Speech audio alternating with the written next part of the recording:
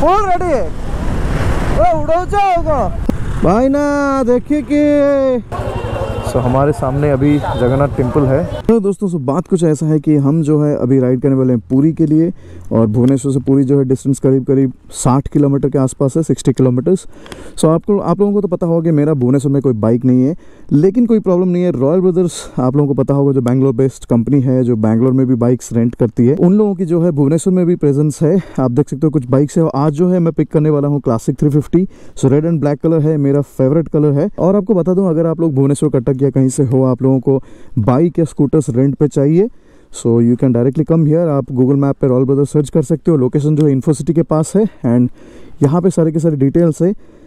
मैं डिस्क्रिप्शन पे भी छोड़ दूँगा लिंक और आ, जो एड्रेस एंड फ़ोन नंबर जो भी है सब छोड़ दूँगा। क्वाइट इजी है। वोडाफोन की ऑफ़िस है इन्फोसिटी में उसी के आसपास है। हेलो हेलो कर लो आप लोग अगर आ रहे हो तो इनसे मिलना। देवाशीष राइट बहुत दिनों के बाद जो है मैं क्लासिक चला रहा हूँ। और सच बताता हूँ कि यार क्लासिक की जो ना बैठने के बाद जो फीलिंग थोड़ा अलग सा फीलिंग होता है। ओके सो लास्ट टाइम हम लोग रॉयल ब्रदर से पिक किए थे जावा जावा एंड इस बार पिक किए हैं क्लासिक 350 लक की बात बताता हूँ, जब मैंने जावा की वीडियो डाला था तो बहुत सारे लोग इनफैक्ट ये पूछ रहे थे कि, बोलू भाई, आप बताओ कि जावा लूँ या फिर क्लासिक 350 लूँ? अभी पहला इंप्रेशन पे मैं आपको एक चीज़ बता दूँ कि यार क्लासिक 350 पे जो है वाइब्रेशंस के मामले में ये ज़्यादा वाइब्रेट करता है जावा के कंपैरिजन में। मतलब इसमें ना वो शेक होने वाला मतलब हिलाने वाला वाइब्रेशंस है। उसमें क्या है, थोड़ा माइन्यूट वाइब्रेशंस है। वो थोड़ा सा आपको इंजन थोड़ा सा रफ रफ जैसा फील होगा मतलब वो हायर आरपीएम पे। लेकिन हाँ इसमें आपको हिला देने वाला वाइब्रेशन है। पूरी से भुवनेश्वर की जो रोड है बहुत अच्छे क्वालिटी की हाईवे है।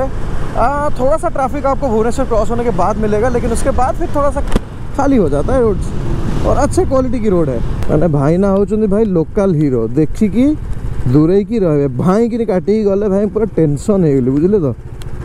तो देखी चाहिए चलेबे देख जो सामने भाई ना जाऊँच भाई कि काटिदेले भाई।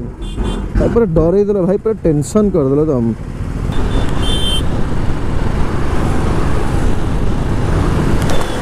हाँ रेडी रेडी फुल रेडी उड़ौच हाँ।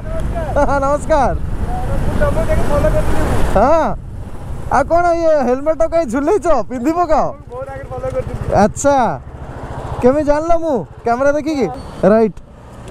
हाँ हाँ। कौन तुम ना? रियासत कौटी घर? पिपिली? हाँ, रेडी हो। मुझे पूरी।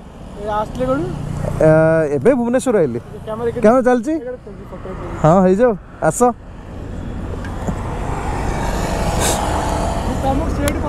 हाँ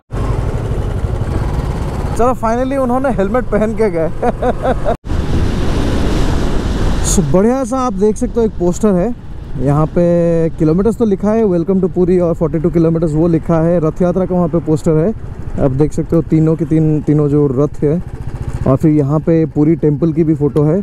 बहुत अच्छा स्पॉट है, ये मुझे बहुत अच्छा लगता है। जब भी मैं इस तरफ़ से क्रॉस करता हूँ, यहाँ पे एक फ़ोटो या वीडियो कुछ तो लेता हूँ।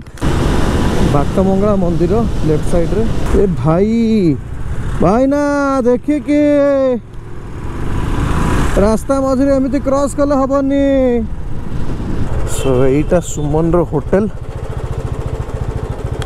अरे बाबा बाइकटा गोटे कौटे पार्क सो यहीटा हूँ सुमन होटेल पछपट होटेल सोनाली से ऑफ़िस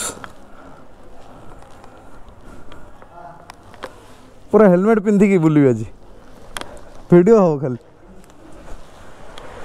सो युवा सब रूम आम जो स्कूल से कन्स्ट्रक्शन चली होटेल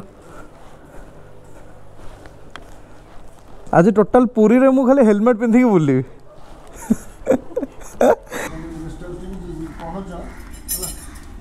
बुलि सुमन होटेल सब बढ़िया एडभांटेज हो पूरा डायरेक्ट सी व्यू पूरा पूरी सी व्यू सो so, अभी हम लोग जो रास्ते पे जाएँगे उसे बोलते हैं दोड़ो मंडप साई।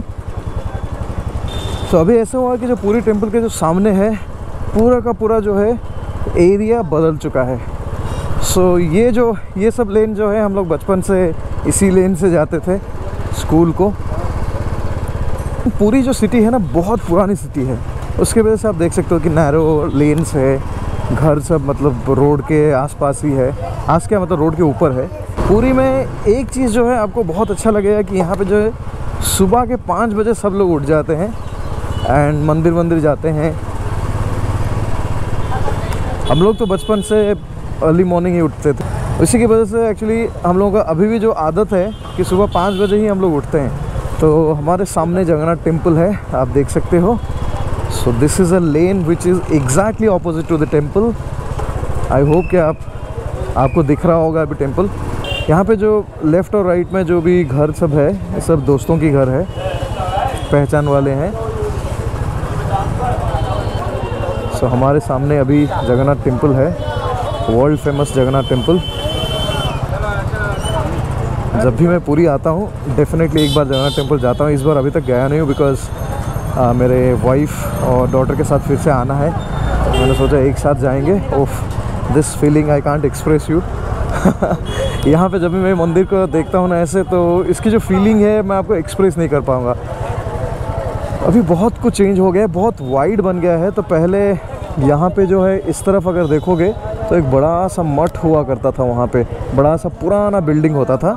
अभी पूरा तोड़ दिए हैं, तोड़ के नया मतलब पूरा वाइड कर रहे हैं यहाँ पे।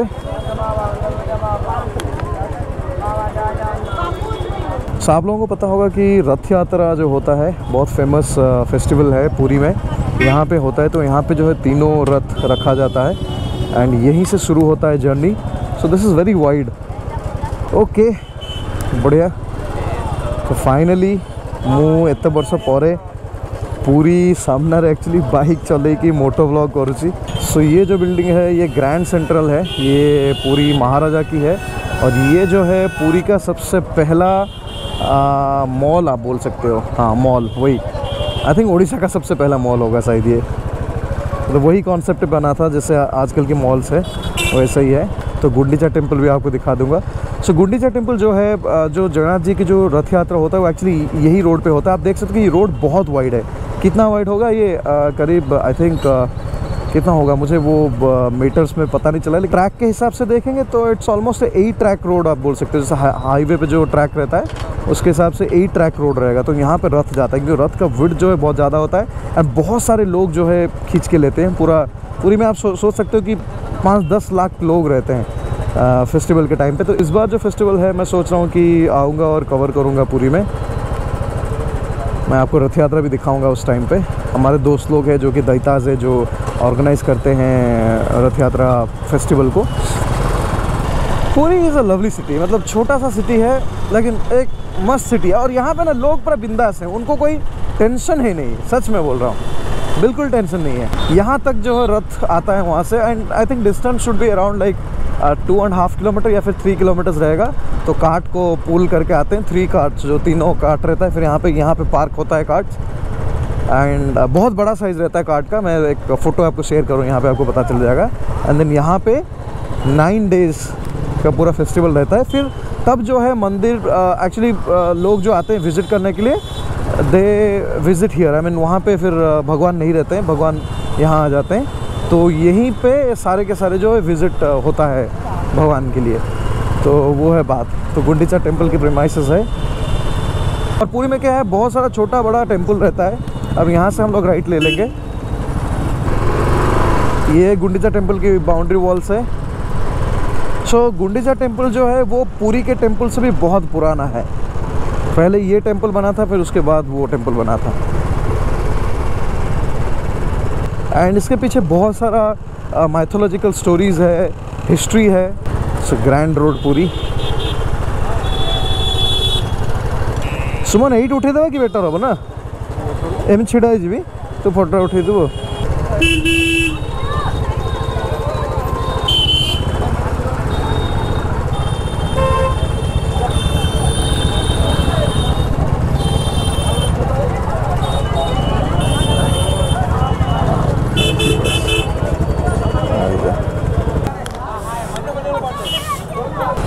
ਇਹ ਡਾਣ ਪੜ ਪੜਿਆ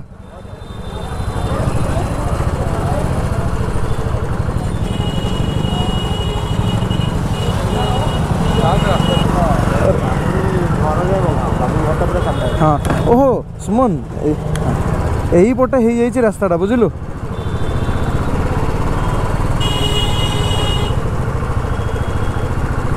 ତୁ ଆସିନୁ କେପଟେ ଜମା सो ये जो रास्ता है, ये खजा पट्टी है। यहाँ पे खजा मिलता है, खजा। तो ये जो है, स्वीट का रहता है। शायद मैदा से बनता है। एंड देन ये जो लेन अभी हम लोग क्रॉस करने वाले हैं, ये बालीसाई बोलते हैं इसको। और यहाँ पे दक्षिण काली टेंपल दक्षिण काली टेंपल है यहाँ पे। तो हम लोग बचपन में रोज़ almost every I think Tuesday और सैटरडे आते थे। मैं भी आता था मेरी मदर फादर सब लोग आते थे। सो so, आज जो है इंडिया बंद है। अभी जो है मैं पूरी से निकला तो उम्मीद कर रहा हूँ आई होप कि कुछ प्रॉब्लम ना हो कहीं पे कुछ डिफ़िकल्टीज ना आए। पूरी से भुवनेश्वर साठ किलोमीटर की डिस्टेंस है हम लोग पहुँच जाना चाहिए। सो so, एक घंटे की राइड है यहाँ से। ये बाइक में टॉप स्पीड मेरे ख्याल से 120 ही है। और वो भी बहुत डिफ़िकल्टी से लग रहा है। सो दोस्तों फाइनली हमारा पूरी भुवनेश्वर ट्रिप ख़त्म। ये अभी पिपीली आ गया है, वहाँ पे वो बोर्ड दूर दिख रहा है और इसके बाद हम लोग भुवनेश्वर में पहुँच जाएँगे। करीब और 15-20 किलोमीटर कुछ रहेगा, उसमें पहुँच जाएँगे। तो थैंक्स टू रॉयल ब्रदर्स कि वो लोग भुवनेश्वर में भी एग्जिस्ट करते हैं, जिसके वजह से इजी हुआ हमें एक बाइक लेके। मेरा बहुत दिन से एक्चुअली सपना था कि यार पूरी के स्ट्रीट के अंदर से जो है मुझे बाइक लेके जाना है। And most of the time जब भी मैं बाइक लेके आता हूँ, कभी मैं उड़ीसा में रुका नहीं है तो पास कर लेता हूँ बस तो वो है। उसके वजह से कभी भी मैंने जो है बाइक लेके पूरी आ नहीं पाया, लेकिन तो वो तमन्ना जो है पूरा कर दिए रॉयल ब्रदर्स ने। तो अगर आप लोग भुवनेश्वर से हो कटक से हो, या फिर पूरी से हो, आप लोगों को अगर बाइक रेंट पे लेना है तो you can directly contact Royal Brothers इनकी website Royal Brothers dot com है। तो thank you so much again for watching this video for making me a part of your day cheers and have a great day and definitely आप लोगों को ये बताना चाहूँगा कि अगर आप लोगों को मेरा कंटेंट पसंद आ रहा है तो प्लीज़ कंसिडर सब्सक्राइबिंग तो सब्सक्राइब कीजिए, करने से अच्छा लगेगा। चीयर्स